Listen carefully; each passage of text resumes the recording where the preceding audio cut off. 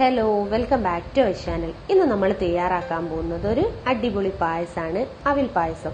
നല്ല super taste ആയിരുന്നു. എന്റെ വീട്ടിലെല്ലാവർക്കും ഇഷ്ടമായിട്ടുണ്ട് നിങ്ങൾക്കും തീർച്ചയായിട്ടും ഇഷ്ടമാവുമെന്നാണ് വിചാരിക്കുന്നത്. ഇഷ്ടപ്പെടുകയാണെങ്കിൽ എന്റെ ചാനൽ ഒന്ന് സബ്സ്ക്രൈബ് ചെയ്യുക. തൊട്ടടുത്തുള്ള ബെല്ലൈക്കൺ കൂടി എനേബിൾ ചെയ്ത് വെക്കുക. നോട്ടിഫിക്കേഷനായിട്ട് അപ്പോൾ നമുക്ക് അവിൽ പായസം എങ്ങനെയാണ് റെഡിയാക്കുന്നത് നോക്കിയാലോ.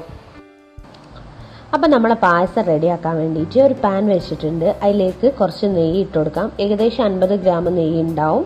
അതൊന്ന് മെൽറ്റ് ആവാനായിട്ട് നമുക്കൊന്ന് വെയിറ്റ് ചെയ്യാം. പിന്നെ നെയ്യിൽ ചെയ്യുമ്പോഴാണ് നല്ല സൂപ്പർ ടേസ്റ്റ് ഉണ്ടാവുക. ഇനി നെയ്യ് പറ്റാത്തവർക്ക് വെളിച്ചെണ്ണ യൂസ് ചെയ്യും കേട്ടോ. അതിലേക്ക് നമുക്ക് കുറച്ച് അണ്ടിപ്പരിപ്പ് ചേർത്ത് കൊടുക്കാം. അപ്പോൾ ഇതാ നമ്മുടെ അണ്ടിപ്പരിപ്പ് ഏകദേശം റോസ്റ്റ് ആയിട്ടുണ്ട്. ഇനി ഇത് നമുക്ക് എണ്ണ കോരി മാറ്റി കൊടുക്കാം.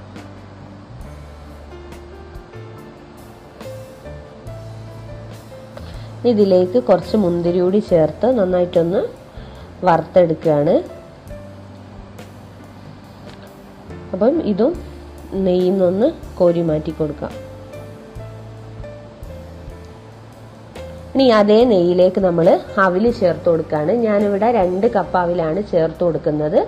പിന്നെ വെള്ള അവിലാണ് എടുത്തിട്ടുള്ളത്. പ്രത്യേകം ശ്രദ്ധിക്കുക. വെള്ള അവിൽ തന്നെ എടുക്കണം. അപ്പം അവൽ നന്നായിട്ടൊന്ന് വറുത്തു കൊടുക്കുക ഇങ്ങനെ ചെയ്യുന്നത് ഇത് നമ്മൾ കുക്ക് ചെയ്യുന്ന സമയത്ത് പൊതിർന്ന് പോവാതിരിക്കാൻ വേണ്ടിയിട്ടാണ്.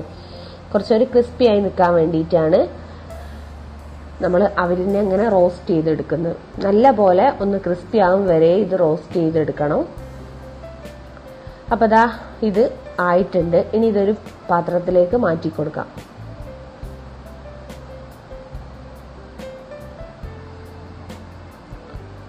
ഇനി ഇതിലേക്ക് വേണ്ട ശർക്കരപ്പാനി തയ്യാറാക്കാൻ വേണ്ടിയിട്ട് ഞാനിവിടെ ആറാണി ശർക്കര എടുത്തിട്ടുണ്ട്. അതിലേക്ക് കുറച്ച് വെള്ളം ചേർത്ത് കൊടുക്കുക.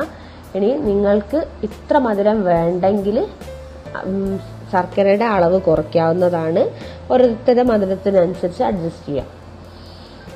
അപ്പോൾ അതാ ഞാൻ പാലൊന്ന് തിളപ്പിച്ചെടുക്കുകയാണ്. അതിനായിട്ട് രണ്ട് പാക്കറ്റ് പാലാണ് ഒഴിച്ചു കൊടുക്കുന്നത്. അപ്പോൾ നമ്മൾ ആ പാൽ തിളക്കാനായിട്ട് നമുക്കൊന്ന് വെയിറ്റ് ചെയ്യാം. ആ സമയം കൊണ്ട് ഇതിലേക്ക് വേണ്ടിയ കാഷ്യൂ ഒന്ന് പേസ്റ്റ് ആക്കി എടുക്കാം. അപ്പോൾ അതാ കാഷ്യൂ ഞാൻ ഓൾറെഡി സോക്ക് ചെയ്ത് വെച്ചിട്ടുള്ളതാണ്. ഒരു ഇരുപത് മിനിറ്റ് മുന്നേ സോക്ക് ചെയ്തിട്ട്. ഇനി ഇതൊന്ന് ഫൈനായിട്ടൊന്ന് അരച്ചെടുക്കാം. അപ്പോൾ നമ്മൾ നേരത്തെ വെച്ച ശർക്കരപ്പാനി വിടാൻ നല്ലപോലെ മെൽറ്റ് ആയിട്ടുണ്ട്. ഇത് ചൂടാറാനായിട്ട് വെയിറ്റ് ചെയ്യാം. അപ്പോൾ അതാ ക്യാഷ്യൂ ഞാൻ നന്നായിട്ട് അരച്ചെടുത്തിട്ടുണ്ട്. ഇനി ഇത് നമ്മളെ നേരത്തെ വെച്ച പാലിലേക്ക് ഒഴിച്ചു കൊടുക്കാം. അപ്പം പാലും ഏകദേശം നല്ല പോലെ ചൂടായിട്ടുണ്ട്. അപ്പോൾ ഇതിലേക്ക് നമ്മളെ അരച്ച് വെച്ച ക്യാഷ്യൂ ചേർത്ത് കൊടുക്കാം. പിന്നെ പാലിൽ ഞാൻ വെള്ളമൊന്നും യൂസ് ചെയ്തിട്ടില്ല. നിങ്ങൾക്ക് വേണമെങ്കിൽ ഒരു ഗ്ലാസ്സോ ഒന്നര ഗ്ലാസ്സോ വെള്ളമൊക്കെ യൂസ് ചെയ്യാവുന്നതാണ്. പിന്നെ പാലിൽ തന്നെ ചെയ്യുമ്പോഴാണ് നല്ലൊരു ടേസ്റ്റ് ഉണ്ടാവുക. ഇനി അതിലേക്ക് നമ്മൾ നേരത്തെ റോസ്റ്റ് ചെയ്ത് വെച്ച അവിൽ കൂടി ചേർത്ത് കൊടുക്കാം. ഒരുപാട് ടൈമൊന്നും വേണ്ട പെട്ടെന്ന് ആവുന്ന ഒരു പായസമാണ് കാരണം അവിലിന് അവിൽ ഒരുപാട് നേരം ഒന്ന് കുക്ക് ചെയ്താൽ പൊതിർന്നു പോകും അതുകൊണ്ട് കുറച്ച് സമയം മതി. അവിൽ ചേർത്തതിന് ശേഷം നന്നായിട്ട് ഇളക്കി കൊടുക്കണം. കൈ എടുക്കാതെ ഇളക്കുകയും വേണം. കാരണം പാൽ നമ്മൾ ഡയറക്റ്റ് വെള്ളമൊന്നും ചേർക്കാതെ ചെയ്യുന്നതുകൊണ്ട് പാൽ അടി പിടിക്കാനൊക്കെ ചാൻസ് ഉണ്ട്. അതുകൊണ്ട് കൈ എടുക്കാതെ ഇളക്കി കൊടുക്കണം. ഇനി ഇതിലേക്ക് കുറച്ച് കണ്ടൻസ്ഡ് മിൽക്ക് ഒഴിച്ചു കൊടുക്കുക. ഓരോരുത്തരെ മധുരത്തിനനുസരിച്ച് ചേർത്താൽ മതി. ഞാനിവിടെ കുറച്ച് ചേർത്തിട്ടുണ്ട്. എന്നിട്ട് നന്നായിട്ടൊന്ന് മിക്സ് ചെയ്ത് കൊടുക്കാം. അപ്പോൾ അതാ കണ്ടൻസ് മിൽക്കൊക്കെ ചേർത്ത് നന്നായിട്ട് ഏകദേശം അത് കുക്കായിട്ടുണ്ട് ഇനി ഇതിലേക്ക് ഒരു ടേസ്റ്റ് ബാലൻസിനായിട്ട് ഒരു പിഞ്ച് ഉപ്പും കൂടി ചേർത്ത് കൊടുക്കാം. ഉപ്പൊക്കെ ചേർത്ത് നന്നായിട്ട് ഇളക്കിയിട്ടുണ്ട്. ഇനി നേരത്തെ റോസ്റ്റ് ചെയ്ത് വെച്ച അണ്ടിപ്പരിപ്പ് മുന്തിരിയൊക്കെ ഇതിലേക്ക് ചേർത്ത് കൊടുക്കാം. ഞാൻ നേരത്തെ പറഞ്ഞ പോലെ ഒരുപാട് ടൈമൊന്നും വേണ്ട. കാരണം അവിൽ പെട്ടെന്ന് അങ്ങ് കുക്കായിക്കോളും ഇനി ഒരു ഫ്ലേവറിന് ഏലക്കായ കൂടി ചേർത്ത് കൊടുക്കാം. ഇനി ഏലക്കായ ഫസ്റ്റ് തന്നെ ചേർക്കാം. ഞാൻ ലാസ്റ്റാണ് ചേർത്തിട്ടുള്ളത്. നിങ്ങൾക്ക് വേണമെങ്കിൽ ഫസ്റ്റ് തന്നെ ചേർക്കാം. അപ്പോൾ ഇതാ നന്നായിട്ട് കുക്കായിട്ടുണ്ട് നല്ലപോലെ തിളച്ചിട്ടൊക്കെ ഉണ്ട്. ഇനി ഇത് നമുക്കൊന്ന് ചൂടാറാനായിട്ട് മാറ്റി വെക്കാം.